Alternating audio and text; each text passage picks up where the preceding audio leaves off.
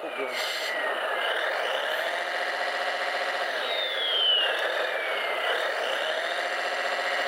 Jó reklám lesz, egy ilyen szarokat csinál, bele maradhat a